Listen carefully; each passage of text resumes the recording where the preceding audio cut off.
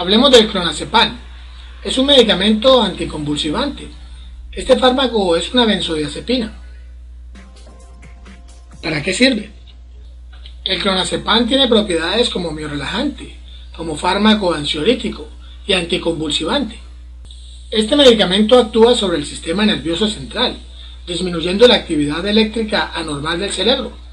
Está indicado para tratar determinados tipos de convulsiones y en casos de manía aguda, como medio auxiliar.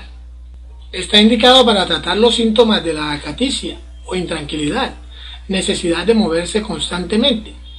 Este medicamento es usado como antiepiléptico para controlar los ataques de epilepsia. Está indicado en el tratamiento de crisis de ausencia o ausencias atípicas, para tratar las reacciones catatónicas agudas, que es el estado en el que una persona no se mueve ni habla por completo. El clonazepam indicado en el tratamiento de ataques de pánico, ataques inesperados de miedo o de miedo intenso.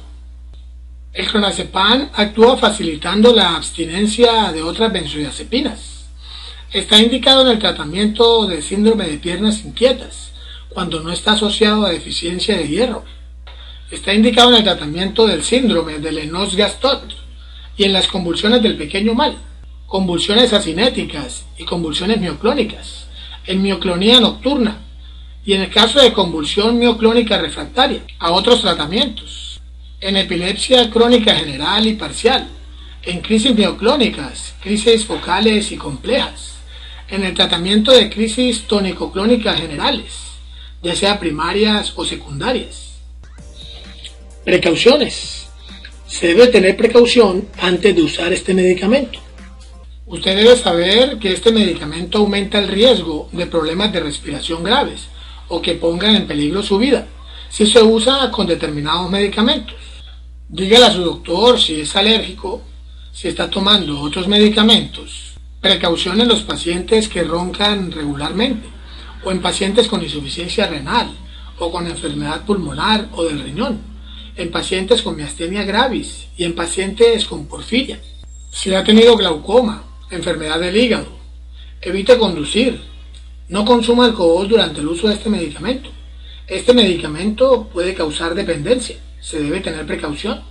Debe saber que la suspensión brusca en pacientes con epilepsia puede precipitar una crisis convulsiva.